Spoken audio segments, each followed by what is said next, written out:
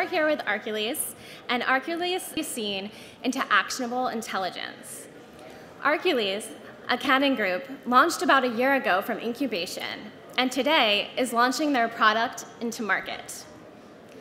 The Arcules Video Cloud platform combines enterprise video and IoT sensor data, leveraging cloud technologies and analytics to turn information streams into insights for businesses, optimizing operations and improving safety. So with that, I'll hand it over to Sharif and Ben to tell you more. Thank you, Lauren. You're welcome. Cheers. Good afternoon, everyone. Oh, seriously? Come on. Thank you. Thank you. Awesome. So I am Sharif Mohammed, principal engineer. I run the engineering department for Arcules. I have uh, Ben here, who's our cloud and security architect. So we get to blame him for everything that's not working. Pretty much. um, clicker, come on. There we go. So what do we do? So we, um, our roots really start from cloud, uh, no, sorry, not cloud, uh, video surveillance on premise. And the idea was is that we wanted to take that and put that into the cloud. And with that thought, we were kind of building out the product and everything. We realized that you could do so much more than just video surveillance in the cloud. And with especially the power of AI and uh, IoT and that correlation of the data, we realized there's so much more there. So we're boldly trying to create a new category by the name of Video IoT as a Service. Video Cloud IoT as a Service, excuse me. And what we're going to talk about today is real. It's not vaporware. This, these are a few screenshots of our product, our dashboard, and some of the insights that you're able to see when you are clicking around in the, in the application. So I want you guys to dream a little bit with me, all right? Imagine if there was a way for us to be able to detect a school shooting when it's happening or prior to the fact that it happens through sound and other IoT devices that we can lock down the school immediately and react immediately.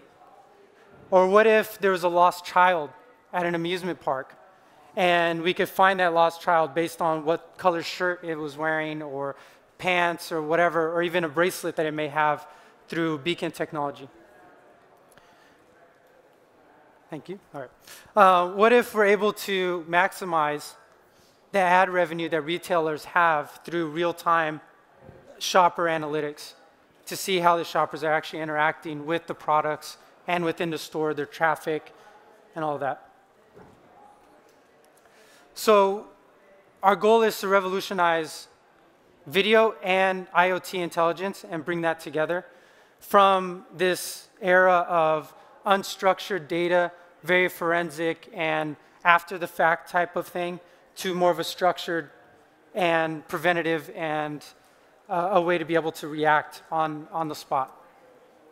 Let me explain a little bit more about what the unstructured versus structured data is. So unstructured data is very blobby and homogeneous, just like water flowing. It's just going through into the cloud. You can't really do anything with it unless you have some sort of human element, human interaction with it to tell you what it is that's actually happening. Now, there are ways to be able to detect disturbances in that field, such as motion detection, but it still doesn't give you enough. You still need a human there to tell you, oh, that was just a bug, uh, like literally a bug flying on the, on the camera, or it was a blurry camera screen, or it was actually a human doing something, right? And again, it's, it's reactive. It happens after the fact. So with the advent of AI and bringing everything up into the cloud, we're able to add more structure to that data, be able to tell you what is actually in the video that you are seeing. Such as in this scenario, we're able to see there are six people running. You know, that's great. We're able to know that there are actually six people there. We know it's not a blurry screen.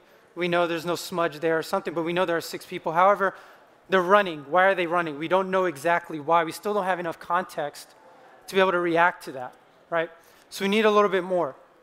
That's where the IoT comes in and being able to correlate all of that data together. So in this particular scenario, we know that six people were running. We know they weren't exercising because it seemed like there was a big spike in temperature. All right. We don't know what that spike in temperature was because of. It could be a fire. More than likely, it's a fire, right? But we're going to be proactive and go sound the alarm so we can get more and more people out of the building to save lives and things like that. And then after the fact, we could always figure out forensics wise who, what, where, why, and when, right? So, okay. Now, as I said, all of this stuff you can actually do today with our product. Again, this is a quick demo of our product on the left there with all that scrolling. You see our dashboard and our web portal where you can manage settings and things like that, also view video. The middle portion, that is our thick client that is used by 24-7 operations um, that you can see actual real-time AI events come in through.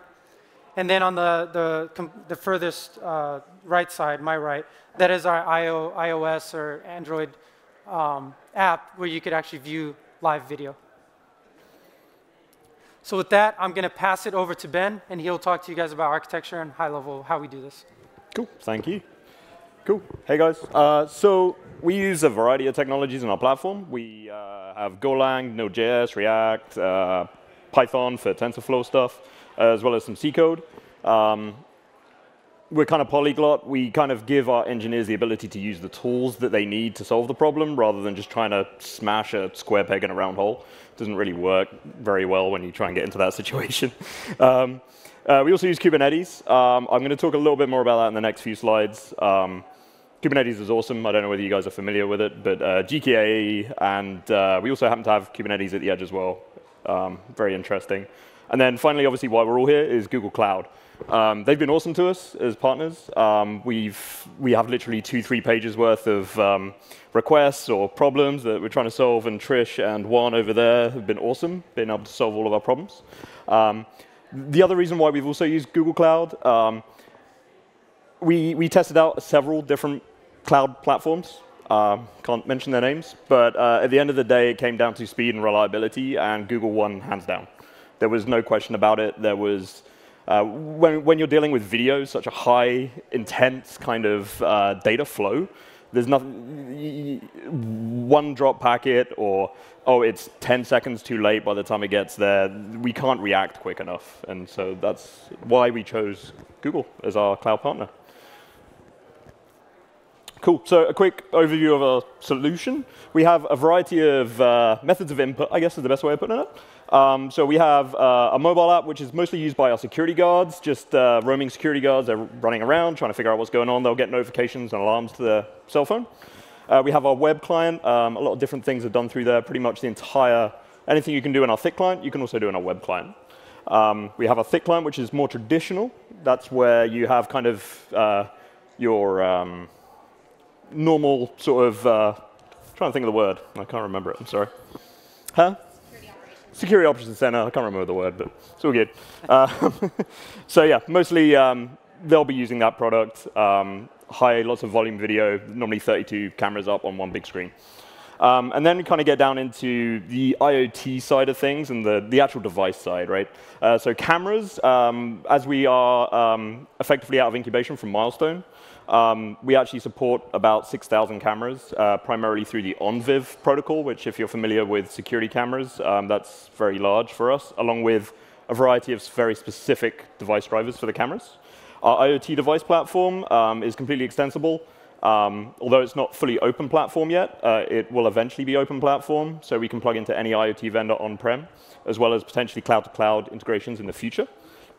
Access control is another huge one, obviously being able to react, lock down doors or open up doors, or uh, video verification, hey, someone passed through this door, hey, what's going on? It's pretty interesting. Um, and then finally, our third-party integrations. Um, it's not fully open yet. We are planning on releasing a fully open API platform. It's very interesting um, being able to integrate with other sources of data. We don't know what they are yet, but that's where like being able to pull in like unstructured data into structured data and having all these feeds of structured data we can do so much more, whether it be analytics over the top of that, or whether it's just um, reactive elements. OK, so uh, here's our architecture. We, um, GK in the cloud, obviously I talked about before. And also we actually run Kubernetes at the edge, and that's something I can kind of say for this slide.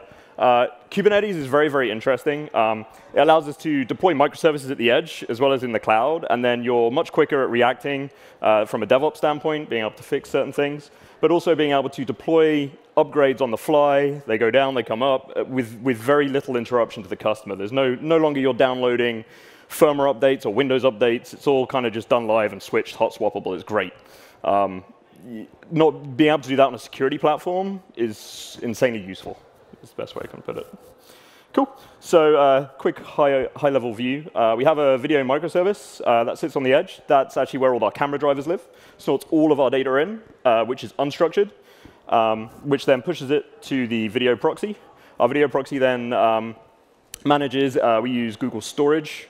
We store all that uh, stuff there. we ha then have our AI ML flow and workflow. Um, we convert that unstructured data to structured data, as Sharif said earlier. We also have our IoT devices. Again, all the drivers and devices live down there at the edge. Um, all the devices connect on-prem or in, on the cloud. It does live on the GKE side as well, but primarily right now it's all at the gateway. We use Cloud IoT Core. Um, obviously, that's kind of one of the big things here. Um, it saved us about a month of development time building off of IoT Core. Um, it's already hardened, it's already secure. We use the MQTT socket base, if anyone's interested. We don't use the HTTP push. Um, it, it, just had all the features we needed at the time, and the fact that it automatically supported private public key exchange and all that stuff, it just made, made so much sense. Um, obviously, with Cloud IoT, we use PubSub to transport all of our messages, uh, similar to RabbitMQ and Kafka, um, just messaging platform. And then the next one is our processor. Um, how many of you guys have heard of GDPR? how many of you have to deal with it? in like actual real life, yeah. um, so one of the interesting things with IoT data is we don't actually know what kind of data is actually coming in. Um, we've built a platform with our drivers. We actually have to categorize that data before it comes in, and we actually have to parse out and make sure that we can utilize it in certain situations. So we've got a whole framework and legal framework around this um, separate pieces which allow us to say, hey, if this data is coming in from Germany, it can't leave the country, so we have to store it in a German data center.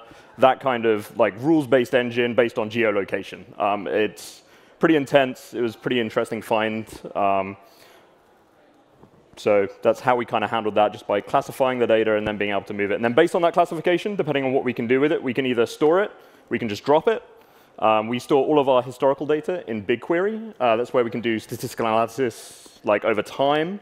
Um, but we also then also like to pass some of that information onto our real-time engine, which is an in-house built function as a service style system. Um, we can choose to send it to this or not. Uh, obviously, anyone familiar with uh, some of the legal ramifications of GDPR, you may not be able to pass it to users, so we may actually have to just drop it before it even gets there. So the real-time engine, what it can do, it will take in multiple sensors. So it could be coming from our AI/ML services, could be coming from our IT services, and we can kind of, based on a series set of rules, or potentially re-plumb it back into any kind of engine. So it's kind of an action, an anything to anything engine in a weird sensor way, but we can kind of take in lots of different types of data and then either reprocess it in a different form, or then take that form and then action upon it back out either via an IoT data sensor or um, change a configuration somewhere on our platform to help provide more actionable insights.